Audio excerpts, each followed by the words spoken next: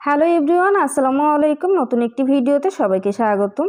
আজকের ভিডিওতে শেয়ার করব এসর বা কাঁচা কাঁঠাল কীভাবে বছর জুড়ে সংরক্ষণ করবেন তার সহজ পদ্ধতি এবং এই ফ্রোজেন করা কাঁচা কাঁঠাল কীভাবে রান্না করবেন থাকছে তার সঠিক রেসিপি মুরগির মাংস দিয়ে এসর রান্না করে দেখাবো এবং কীভাবে রান্না করলে ফ্রোজেন করা এসর বা কাঁচা কাঁঠাল রান্নার পরে শক্ত থাকবে না, থাকছে তার এ টু জেড টিপস তো দেরি না করে চলুন দেখে আসি আজকের এই গুরুত্বপূর্ণ ভিডিওটি। এই সময় যেহেতু কাঁচা কাঁঠাল পাওয়া যায়, তাই কম বেশি সবাই কিন্তু এসরটা সংরক্ষণ করে রাখে বছর জুড়ে। তো চুলায় একটি প্যান বসিয়ে চুলাটা অন করে একটা প্যানে বেশ কিছু পরিমাণ পানি দিয়ে অল্প একটু হলুদ দিয়ে দিলাম। তো পানিটা ফুটে উঠলে দিয়ে দিলাম সেই এসরগুলো আর এই এসরটা আমি কীভাবে কেটেছি তারও ভিডিও কিন্তু আমার চ্যানেলে দেওয়া আছে। চাইলে চ্যানেল থেকে দেখে নিতে পারেন। আপনাদের দেখার সুবিধার্থে ডিসক্রিপশন বক্সে লিঙ্কটি দিয়ে দিব, সেখান থেকে দেখে নেবেন। তো এটাকে কমপক্ষে আমি দুই মিনিট জাল করে নিব।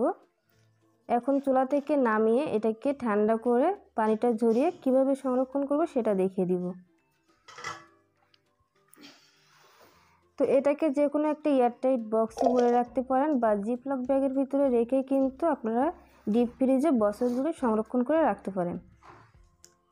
তো আমি এখানে একটা এয়ারটাইট বক্সে এবং জিপলক ব্যাগে রেখে দিয়েছি। এখন এটাকে ডিপ ফ্রিজে সংরক্ষণ করব বছর জুড়ে। তো এই কাঁচা কাঁঠাল বা এসব সংরক্ষণ করার পরে কীভাবে রান্না করবেন সেটাও এখন দেখিয়ে দিব। তো এসবগুলো আমি ফ্রিজ থেকে দশ মিনিট আগে বের করে রেখে দিয়েছি। এখন চুলায় একটি প্যান বসিয়ে চুলাটা অন করে ওয়ান ফোর্থ কাপ দিয়ে দিলাম রেগুলার রান্নার তেল। তেলটা গরম হয়ে আসলে দিয়ে দিলাম দুইটা এলাচ, দুই টুকরো দারুচিনি এবং চারটা লং। এখন দিয়ে দিলাম বড়ো সাইজের একটা পেঁয়াজ কুচি। তো পেঁয়াজটাকে একটু ভেজে নিব। এখন দিয়ে দিলাম দুই টেবিল চামচ রসুন এবং পেঁয়াজ পেস্ট। এখন পেঁয়াজ পেস্টটাও একটু ভেজে নিব।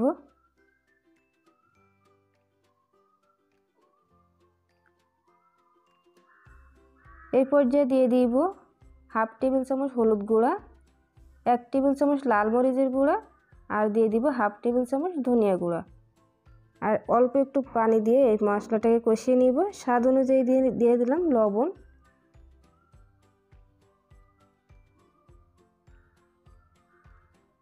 পানিটা দিয়ে মশলাটাকে একটু কষিয়ে নিব। আর কয়েকটা দিয়ে দিলাম কাঁচামরিচ ফালি।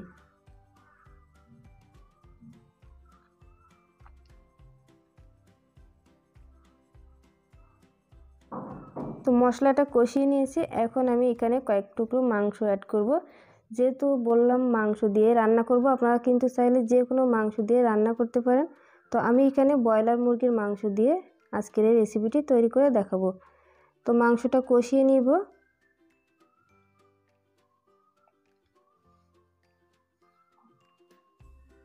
এখন এই পর্যায়ে দিয়ে দিলাম একটা আলু।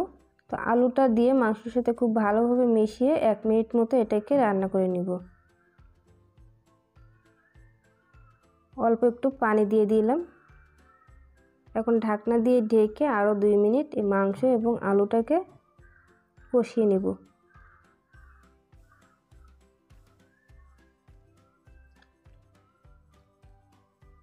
ফিরে আসলাম দুই মিনিট পর। এখন এই মশলার ভিতরে দিয়ে দিব ফ্রোজেন করা সেই এসরগুলো দিয়ে খুব ভালোভাবে এই মশলার সাথে এবং মাংসের সাথে মিশিয়ে নিব। এখন ঢাকনা দিয়ে ঢেকে এটাকে আরও দুই মিনিট রান্না করে নিব। তো ফিরে আসলাম দুই মিনিট পর।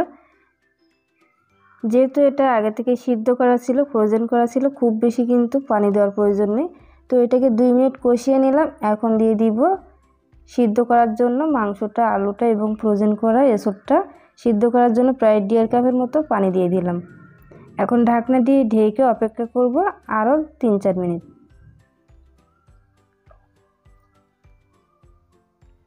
তো চার মিনিট পর আমি রান্নাটা কমপ্লিট করে ফিরে আসলাম। এখন একটা পাত্রে তরকারিটা নামিয়ে নিব। তো আপনারা চাইলে কিন্তু এভাবে করে বছর জুড়ে এসব সংরক্ষণ করে রাখতে পারেন এবং কীভাবে এসব রান্না করবেন সেটাও কিন্তু দেখিয়ে দিলাম। আর এটা কতটা সফট হয়েছে সেটাও কিন্তু একটু দেখিয়ে দিই। তো আজকের এই ভিডিওটি ভালো লাগলে লাইক কমেন্ট শেয়ার করতে পারেন। দেখা হবে পরবর্তী কোনো ভিডিওতে। আসসালামু আলাইকুম।